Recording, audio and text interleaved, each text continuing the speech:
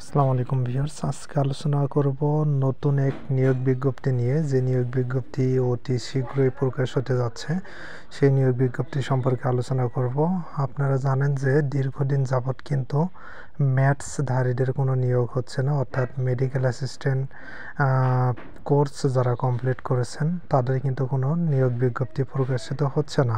দু হাজার ষোলো সালের পর এখনও কোনো নিয়োগ বিজ্ঞপ্তি প্রকাশিত হয়নি তো ভিউয়ার্স ম্যাথসধারীরা উপসহকারী কমিউনিটি মেডিকেল অফিসার পদে এগারোতম গ্রেডে সরাসরি জয়েন করতে পারেন। এই সার্কুলার দীর্ঘদিন বন্ধ ছিল।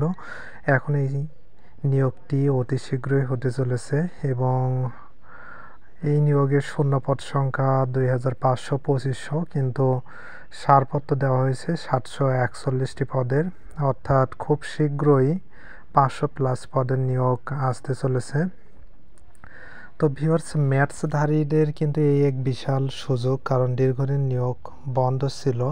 অলরেডি জনপ্রশাসন মন্ত্রণালয় থেকে সাইন হয়েছে। এখন শুধুমাত্র পরিবার পরিকল্পনা মন্ত্রণালয় নিয়োগটি পাবলিশ করলেই নিয়োগটি হয়ে যাবে। তো ভিউয়ার্স, আপনারা জানেন যে পরিবার পরিকল্পনা অধিদপ্তর থেকে এর আগেও একবার নিয়োগ দেওয়ার কথা ছিল।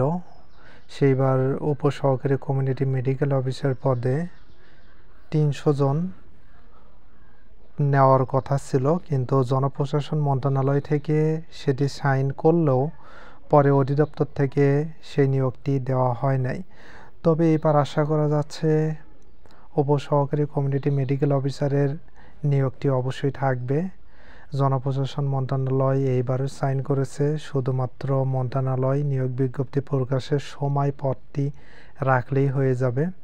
তো ভিউয়ার্স আপনারা যারা দীর্ঘদিন ম্যাথস কমপ্লিট করে বসে আছেন বা একটা সরকারি চাকরির আশায় রয়েছেন, তাদের জন্য কিন্তু খুবই বিশাল একটা সুযোগ এটি।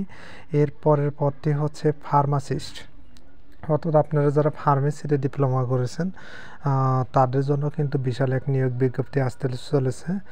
ফার্মাসিস্ট পদের নিয়োগ বিজ্ঞপ্তি তো হান্ড্রেড পার্সেন্ট থাকবে, আপনারা প্রিপারেশন নিতে পারেন এখন থেকে। নিয়োগ বিজ্ঞপ্তি খুব দ্রুত বলতেই এই মাসের শেষের দিকে ইনশাল্লাহ প্রকাশিত হবে। তো ভিওয়ার্স ফার্মাসিস্ট নিয়োগটিও আসতে যাচ্ছে পরিবার পরিকল্পনা অধিদপ্তরের আন্ডারে আর উপসহকারী কমিউনিটি মেডিকেল অফিসার পদটি উপসহকারী কমিউনিটি মেডিকেল অফিসার পদটিও কিন্তু পরিবার পরিকল্পনা অধিদপ্তরের আন্ডারেই আসতে যাচ্ছে। তো ভিওর্স এছাড়াও আরও অনেক পদ থাকবে যে পদগুলোতে এসএসসি পাস থেকে শুরু করে স্নাতক পাসের ধারীরা পর্যন্ত আবেদন করতে পারবেন। তো আপনাদের যদি কোনো কোশ্চেন থাকে তাহলে অবশ্যই কমেন্ট করতে পারেন। আর ফার্স্ট টাইম আমার চ্যানেলে হইলে অবশ্যই চ্যানেলটি সাবস্ক্রাইব করে পাশে থাকবেন। ধন্যবাদ সবাইকে।